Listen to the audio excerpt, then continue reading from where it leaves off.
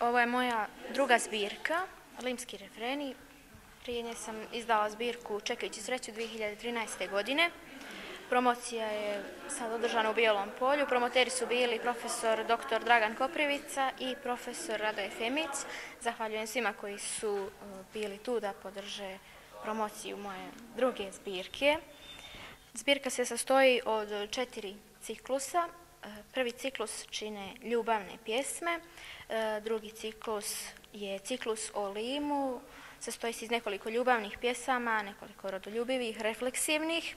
Eh, treći ciklus čine pjesme za djecu i četvrti ciklus su pjesme namijenjene starijim ljudima koji se već malo bolje razumiju u poeziju.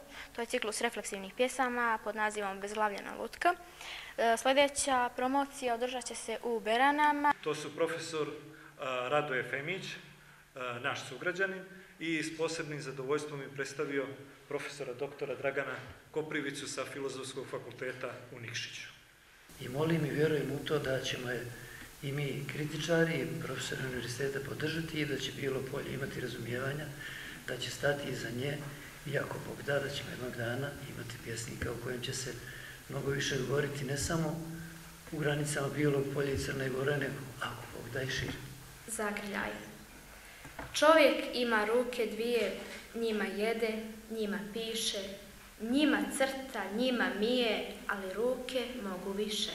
Makar jedan šapat da razveseli me, da osmijeh na drago srce zamiriše, da li on večeras, da li za mnom uzdiše. Da li zna, o, da li zna dok mirno spava, da se neko moli da ga nebo čuva. Bila je ovo pjesma Nepoznati iz nove zbirke naše sugrađanke Šejle Hoti pod nazivom Limski refreni. Zacije o svijetu djetinstva koje iako počivaju na onim stereotipnim motivima i simbolima koje se, e, koji se tiču životinskog svijeta, biljnog svijeta, našeg okruženja, onda te infantilne perspektive,